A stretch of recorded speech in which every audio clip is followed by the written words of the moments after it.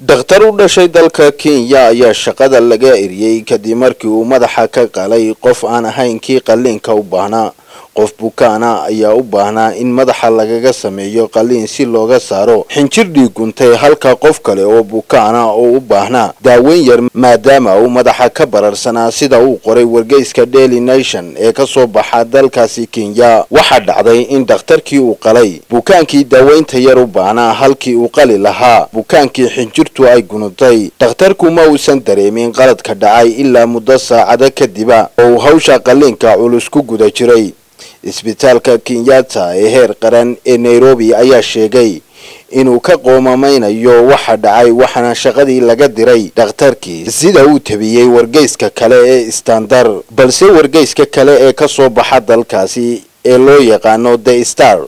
ayaa qoray in dhakhtarka iyo saaxiibadii ay ka hor yimaadeen go'aanka shaqada looga eriyey waxayna sheegeen in ay tahay in la ciqaabo qofka calaamada aqoonsiga qaldan ku dhejiyey qofka bukaanka ah taasi oo muujinaysa inuu yahay qofkii u baahnaa qalliinkaasi